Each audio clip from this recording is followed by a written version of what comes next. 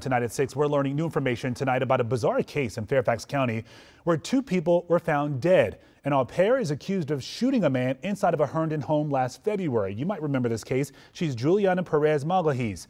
Her attorneys argue she fired the gun out of self-defense because the man had stabbed the homeowner. But questions remain if her alleged affair with the homeowner's husband played a role here. Our Matthew Torres was at that preliminary hearing today, and in the last four hours, a judge ruled there is enough probable cause to move this case to a grand jury.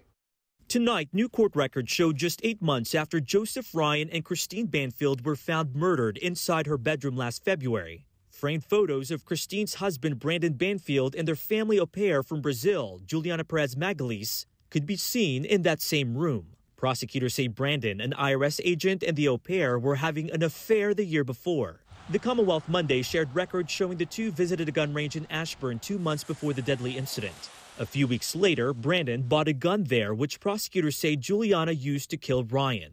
Members of the local Brazilian community in the courtroom question if there was conspiracy. Uh, a lot of people believe that Juliana is not guilty, that she didn't do anything, and a lot of people believe that her and him were planning together. Officials say Ryan was in the Banfield's home because he responded to an account for sexual fetishes. The defense says the au pair called Brandon about an unknown car in the driveway. When they both walked in, Brandon reportedly went up to his bedroom upstairs and shot Ryan in the head out of self defense after he allegedly stabbed his wife, who prosecutors say was naked at the time. The au pair confessed to detectives that Brandon instructed her to get a second gun in the safe in the bathroom closet. She says she fired one round through Ryan's chest while he was still on the floor moving.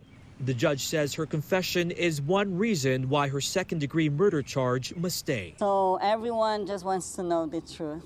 Brandon Banfield also took the stand today with his attorney watching his every answer. He pled the fifth to most of the questions out of concern he could incriminate himself in the future.